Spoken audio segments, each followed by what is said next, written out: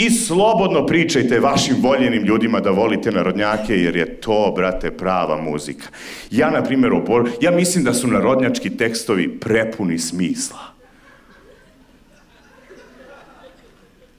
Vi, gospođe, očigledno ne. Ja se izvinjavam, nisam znao da su ljudi iz Ministarstva kulture ovde.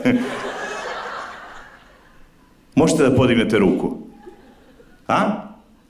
Sad je u fazonu, ja ne dižem ruku, nije ovo kafana, ja u kafane ne idem, izvinite, molim. Narodnjaci, bre, imaju smisla. Dragana Mirković, edukativne pesme. Šta je smešno? Edukativne pesme. Da li mirno spavaš, luče moje? Ovo veče, dal te savest peče? Ja bolju pesmu o kondilomima nisam čuo.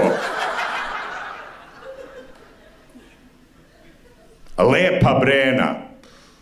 Ej, ti kad kažeš Lepa Brena, to je bre institucija, jebo. Ona je toliko velika zvezda, ona je sebe nazvala Lepa. To je kao da ja budem kurati Filip, razumiješ?